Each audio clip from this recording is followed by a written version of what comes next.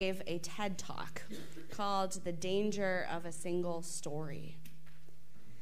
In this TED talk, she talks about how growing up in Nigeria was like for her, and then tells the story of moving to the United States at the age of 19 for university. Her American roommate had never met someone from Africa but she'd heard a thing or two about Africa, and so she had some assumptions about what Chimamanda's life was like there. And her roommate said things like, Your English is so good. How did you learn to speak English so well? And was shocked to learn that English is the official language of Nigeria, and everyone speaks English there. This roommate has also assumed that Chimamanda had never seen or used a stove before. And when she wanted to hear some of Chimamanda's tribal music, she was shocked when she pulled out a Mariah Carey CD. she was shocked by a lot of the things that she learned from Chimamanda about life in Nigeria. Chimamanda went on to say, my roommate had a single story of Africa, a single story of catastrophe. All her roommate knew about the entire continent of Africa was dirt roads, mud huts, and poor people who desperately need our help. And Chimamanda said, in this single story that she had, there was no possibility of Africans being similar to her in any way, no possibility of feelings more complex than pity, and no possibility of a connection as human equals. When a single story is all that you ever hear, about one person or country or culture, you don't hear the full picture of their humanity. And it keeps us from being able to imagine people complexly, simplifying whole people into teeny tiny little boxes that are easy to fit into our own carefully crafted worldview. And we see this single story at play in so many different ways. Like Chimamanda's example of her roommate's limited knowledge of Africa, there is our own knowledge and understanding of the continent of Africa and its 54 unique countries, all with a different infrastructure and language and culture. We also hear a single story about a lot of other countries and cultures around the world just because we don't hear the other stories if we aren't specifically looking for them. But on a smaller scale, we also sometimes hear a single story about individual people. They're just reckless. They're just a nobody. They're just a criminal, just an addict, just unreliable, just lazy, just a Democrat, just a Republican, just a sinner. They're just fill in the blank. And those are some very small boxes for very complex people very complex human beings. In our gospel today, Jesus entered the town of Jericho, and there were a lot of people waiting to see him, and one of those people was Zacchaeus. And Zacchaeus was a chief tax collector. And we've heard about tax collectors. Yeah.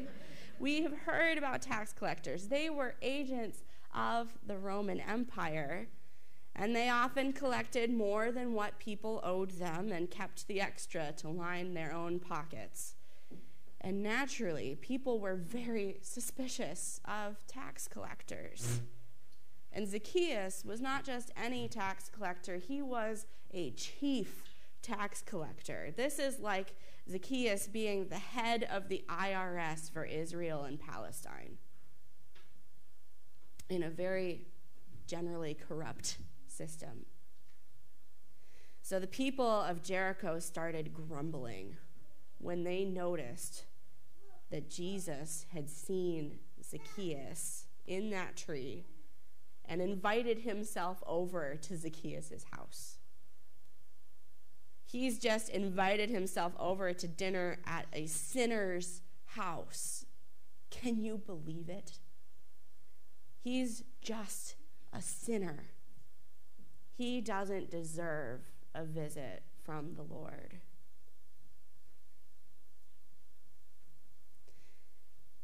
In her TED talk, Chimamanda said, Power is the ability not just to tell the story of another person, but to make it the definitive story of that person. To make that story the whole of who they are.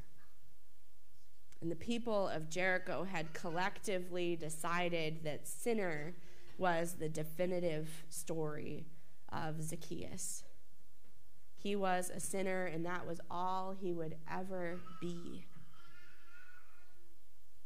But Jesus disagreed. Jesus looked up in that tree and saw someone who was trying to break free of this story that had been assigned to him.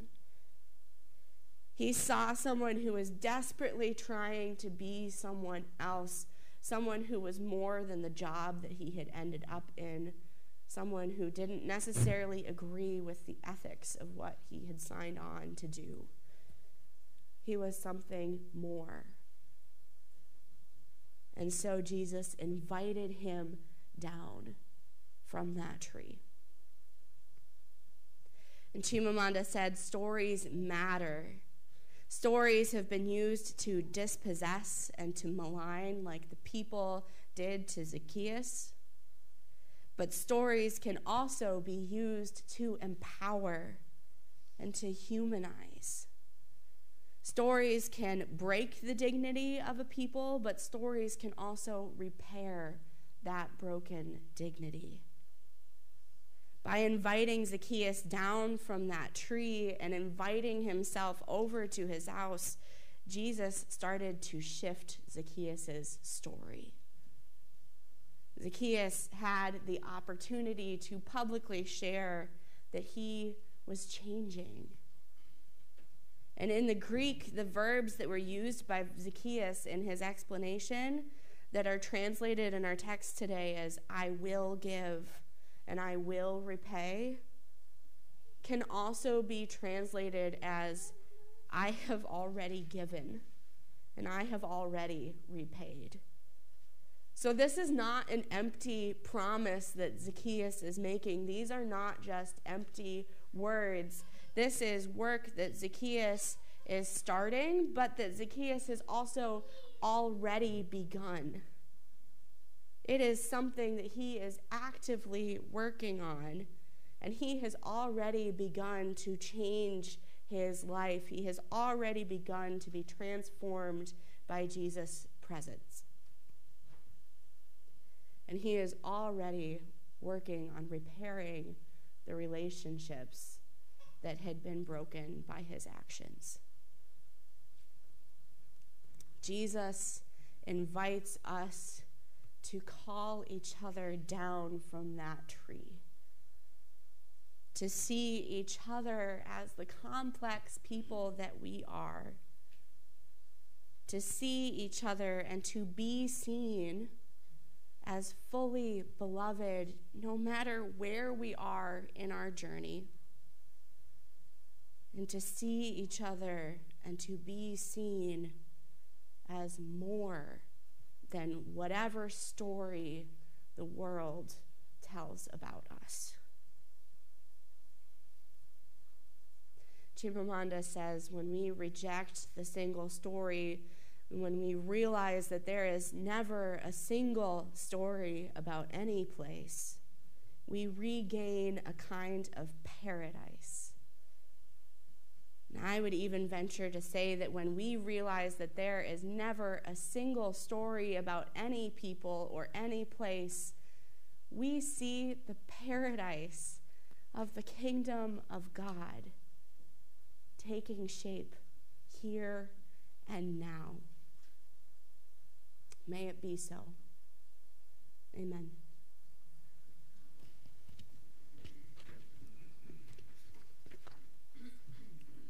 We sing together our hymn of the day, number 722 in your hymnal.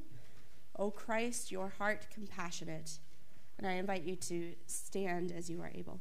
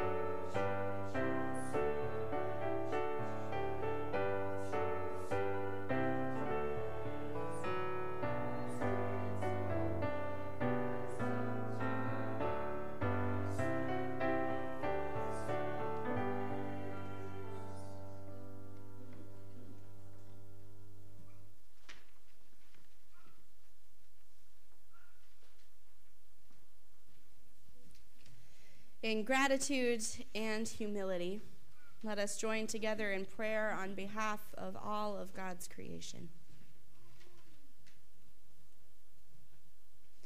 Keep your church steadfast in your word, reforming God.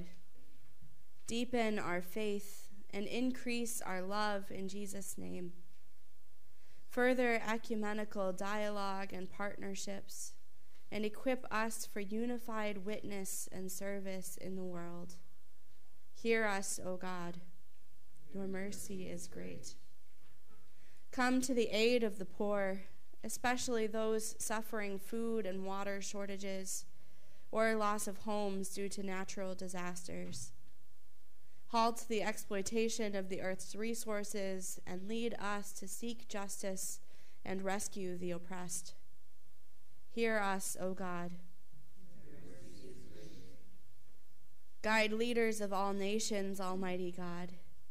Heal divisions, bring trust, and remove barriers that prevent collaboration and cooperation. Bring neighborhoods, cities, and countries together to work for the common good. Hear us, O God. Your mercy is great. Save from trouble those who struggle with hunger, homelessness, or addiction. Strengthen the overworked and give hope to those who do not have enough work. Console those who are burdened by illness or grief, especially those in our prayer list and those that we name now aloud or in our hearts.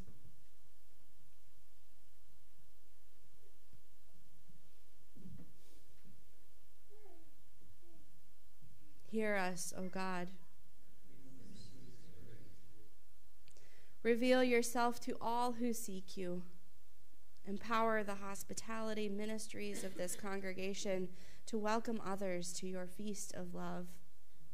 Foster generosity in our stewardship to both our congregation and our community. Hear us, O God. Gather the faithful at the table of your eternal banquet. We give thanks for those who have witnessed to your gracious presence, especially Martin Luther and all who strive to reform and renew the church. Hear us, O God. With grateful hearts, we commend all of our spoken and silent prayers to you, O God, through Jesus Christ our Lord. Amen. The peace of Christ be with you always. I invite you to share a sign of peace with one another.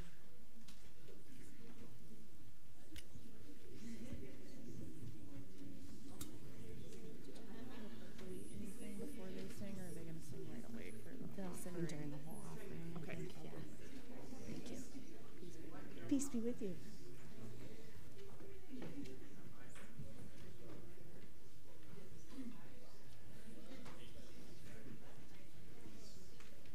Peace be with you. Go right ahead.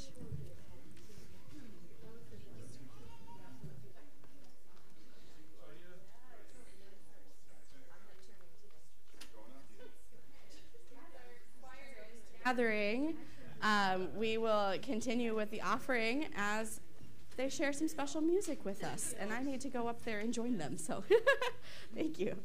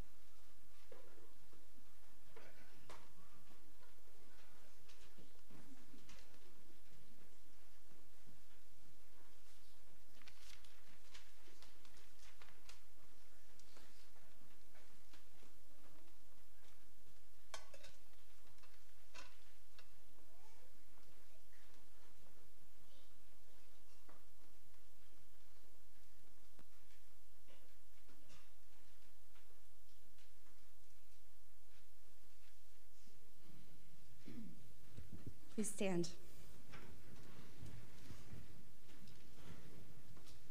Gracious God, in your great love, you richly provide for our needs. Make of these gifts a banquet of blessing and make us ready to share with all in need. Through Jesus Christ, who sets a table for all. Amen. We continue with the thanksgiving for the word, which can be found on page 220 of your hymnal. And the response from you is We give you thanks and praise. Let us pray. Praise and thanks to you, Holy God, for by your word you made all things. You spoke light into darkness, called forth beauty from chaos, and brought life into being. For your word of life, O God, we give you thanks and praise. By your word, you called your people Israel to tell of your wonderful gifts freedom from captivity, water on the desert journey a pathway home from exile, wisdom for life with you. For your word of life, O God, we give you thanks and praise. Through Jesus, your word made flesh, you speak to us and call us to witness. Forgiveness through the cross, life to those entombed by death, the way of your self giving love. For your word of life, O God, we give you thanks and praise. Send your spirit of truth, O God. Rekindle your gifts within us. Renew our faith, increase our hope, and deepen our love for the sake of a world in need. Faithful to your word, O God, draw near to all who call on you. Through Jesus Christ, our Savior and Lord, to whom, with you and the Holy Spirit, be honor and glory forever. Amen. Let us pray together the prayer that Jesus has taught us. Our Father, who art in heaven, hallowed be thy name. Thy kingdom come, thy will be done, on earth as it is in heaven. Give us this day our daily bread, and forgive us our trespasses, as we forgive those who trespass against us. And lead us not into temptation, but deliver us from evil. For thine is the kingdom and the power and the glory forever and ever. Amen.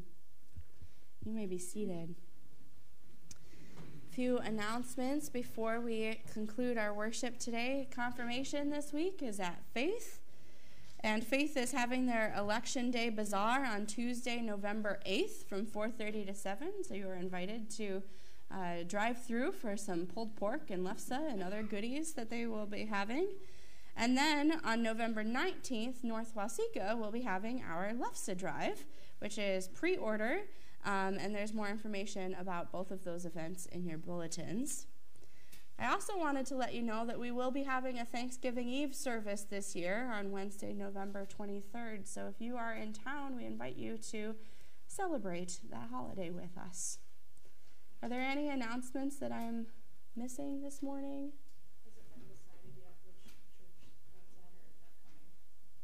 Is that official yet? Not official yet. Yep. To to be determined. We will let you know where to go on that Wednesday, but no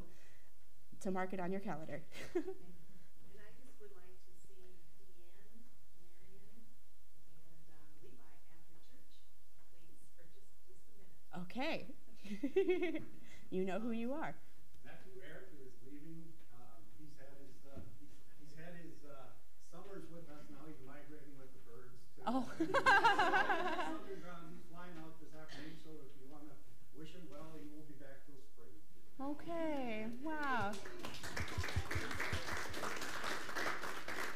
That is an excellent transition into milestones. Yeah. So, a milestone for a season together and blessings on your journey. A milestone for Eric. Are there any other milestones to share today? We made it home. You made it home. Welcome home. Milestone. so did you. I, you know, I'll go. I was just going to say, the choir did a fantastic job today, really singing from the heart. Yes. Yes. Milestone. I have two, if that's Yeah. right. It's not allowed. And, uh, tomorrow's my birthday. Happy birthday. Milestone. You did the math, it's Halloween, so it's kind of cool. Yeah. And then the second one is, as many of you know, I've really kind of hustled to get more performing work this year. And um, yesterday, my show at Mankato Brewer is my 200th show of 2022. I have never Wow. reached that number before, and I still have two months left, so I'm very proud of that. Milestone. Congratulations on both fronts. Yeah. Make her play happy birthday for herself. I mean, I can play it and not sing, I guess. we won't make you do that. Are there any other milestones to share this morning? Patty and I moved to a new home over this past week to start a new life together. Yeah. Milestone. A new home and a new life together. Beautiful.